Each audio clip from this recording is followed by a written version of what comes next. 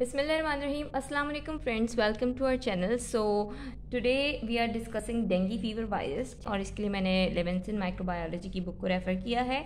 सो so, ये belong करता है आर्बो वायरसेस में। आर्बो वायरसेस होते क्या हैं? इसमें वो वायरसेस आते हैं जो कि आर्थ्रोपोड बॉर्न होते हैं। ठीक है? Arthropods borne viruses so these are the arbo viruses हम डेंगी फीवर वायरस को पहले डिस्कस कर लेते हैं। इसकी नेक्स्ट वीडियो में मैं आपके साथ येलो फीवर वायरस को डिस्कस करूँगी। So dengue fever virus obviously ये डेंगी फीवर कॉज कर रहा होता है। इसके चार सीरो टाइप्स होते हैं। इसका जो ट्रांसमिशन होता है, वो कौन कर रहा होता है? इसका वेक्टर क्या होता है? दैट इज़ इसका नाम आप लोग जहन में रखिएगा, क्योंकि अक्सर ये एमसीक्यू में आपसे पूछा जाता है। एबर इजिप्टाइम मॉस्किटो जो भी एग्ज़ाम रिलेटेड इंपॉर्टेंट बातें होंगी वो मैं आपको साथ साथ बताती चलूँगी हाईलाइट कर दूँगी ठीक है? सो so, अब जो डेंगी फीवर का जो ये वायरस है ये जो डेंगी फीवर कॉज कर रहा होता है ये दो तरह से फीवर कॉज कर रहा होता है। जिसमें एक होता है क्लासिकल डेंगी एक होता है डेंगी हीमोरेजिक फीवर अब हम दोनों को डिस्कस करते हैं कि दोनों में होता क्या है क्या डिफरेंस है। पहले हम क्लासिकल डेंगी फीवर को देख लेते हैं तो ये ज़्यादातर ट्रॉपिकल एरियाज़ में हो रहा होता है और इसमें होता क्या है कि एक सडनली एक इन्फ्लुएंज़ा लाइक सिम्टम्स जो है, वो डेवलप हो रहे होते हैं, जिसमें आता है फीवर ठीक है एलेस ठीक है, यानी बहुत ज़्यादा restlessness weakness cough and headache तो ये इन्फ्लुएंज़ा लाइक सिम्टम्स हैं, जो कि सडनली बिगिन हो रहे होते हैं. इसके अलावा इसमें सीवियर पेन होता है इन मसल्स एंड जॉइंट्स ये एक करेक्टरिस्टिक फाइंडिंग है एंड इंपॉर्टेंट uh, है। इसी वजह से इसको ब्रेक बोन फीवर भी कहते हैं। ये बहुत इंपॉर्टेंट बात है ठीक है? ये वाली बात।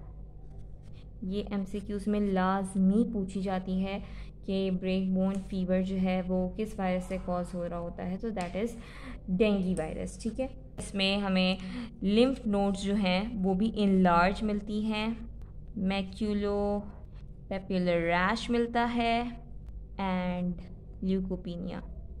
सो ये सारी करेक्टरिस्टिक और इंपॉर्टेंट फाइंडिंग्स हैं जो कि क्लासिकल डेंगी फीवर में हमें मिलता है। अच्छा आफ्टर वन वीक खुद ही इसकी जो है सिम्टम्स रिग्रेस होना शुरू हो जाते हैं और कंडीशन पेशेंट की बेहतर होना शुरू हो जाती है। लेकिन जो उसमें जो वीकनेस होती है वो इसमें बहुत ज़्यादा होती है और वो परसिस्ट करती है थोड़े लंबे टाइम के लिए और इसमें फेटेलिटी इतनी ज़्यादा नहीं होती, बहुत रेयरली ये फेटल होता है। So this was about the classical dengue fever अब जब हम बात करते हैं डेंगी हिमोरेजिक फीवर की तो ये जो है साउदर्न एशिया में मोस्टली देखा जाता है डेंगी हिमोरेजिक फीवर और इसमें इनिशियल जो सिम्टम्स होते हैं क्लिनिकल फाइंडिंग है, वो बिल्कुल क्लासिकल डेंगी फीवर की तरह ही होती है। वही पेन फीवर मैलिस ठीक है और लिम्फेडिनोपैथी वगैरह। लेकिन इसमें क्या होता है देन शॉक और हेमोरेज डेवलप हो जाता है स्पेशली जीआईटी और स्किन में। सो so, ये एक बहुत सीवियर कंडीशन है और इसी वजह से ये डेंगी हेमोरेजिक फीवर ज़्यादा सीवियर होता है। और इसमें एक्चुअली जो हेमोरेजिक शॉक सिंड्रोम जो डेवलप हो रहा होता है वो सेकेंड टाइम जब ये इन्फेक्शन होता है तब होता है और उसमें क्या होता है कि एंटीबॉडीज़ का आपस में बहुत ज़्यादा क्रॉस रिएक्शन हो जाता है जिसकी वजह से हेमोरेजिक शॉक सिंड्रोम डेवलप हो रहा होता है। सो so, इसकी एक्चुअली पैथोजेनेसिस क्या है कि जैसे कि मैंने आपको पहले ही बताया था कि इसके चार जो वायरस है इसके चार सीरो टाइप्स होते हैं। तो क्या होता है कि जब पहला इन्फेक्शन होता है एक सीरो टाइप ने फ़र्स्ट इन्फेक्शन करवाया पेशेंट को।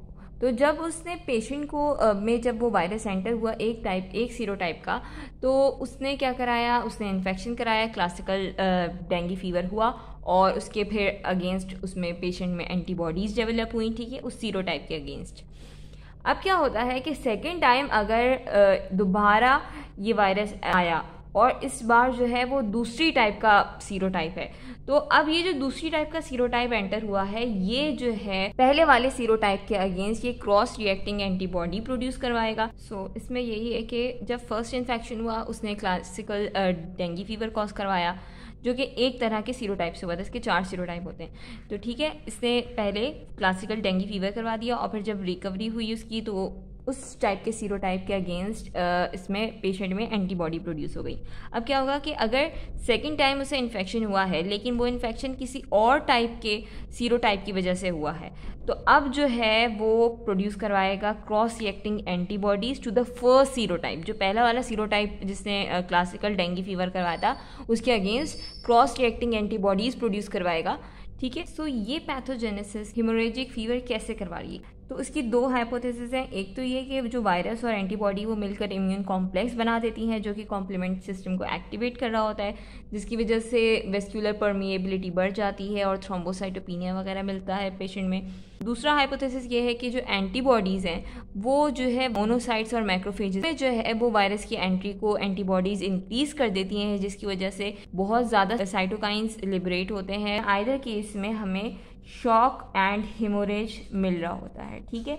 So this was about the pathogenesis so इसकी ट्रांसमिशन में इसका वेक्टर तो वही एवीज़ मैं आपको पहले भी बता चुकी हूँ ऊपर।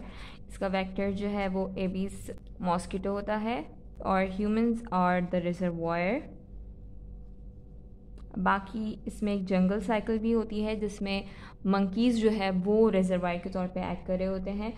सो so, डायग्नोसिस में इसका सेल कल्चर से भी वायरस आइसोलेट किया जा सकता है और सीरोलॉजिकल टेस्ट भी होते हैं जिसमें आईजीएम एंटीबॉडी की प्रेजेंस डिमॉन्स्ट्रेट की जाती है या फिर अक्यूट और कन्विल्सेंट फ़ेज़ में जो हम सिरम लेंगे उसमें हमें फोर फोल्ड या ग्रेटर एंटीबॉडी टाइटर का राइज मिलेगा और इसके अलावा पी भी अवेलेबल हैं।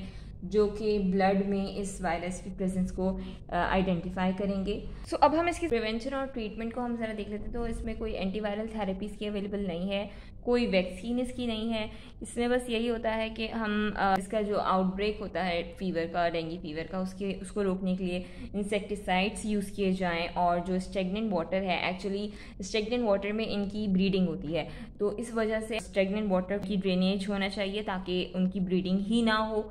ठीक है? एंड इसके अलावा पर्सनल प्रोटेक्शन uh, में हम मॉस्किटो से पर्सनल प्रोटेक्शन जो कर सकते हैं जैसे कि इंसेक्ट रिपेलेंट्स और इस तरह की क्लोथिंग पहने कि पूरी बॉडी कवर हो और इसके अलावा नेटिंग uh, वगैरह का use these are all the prevention so hope you like this video अगर आपको वीडियो अच्छी लगे तो अपने फ्रेंड्स और फेलोज़ के साथ भी इस वीडियो को शेयर कीजिएगा।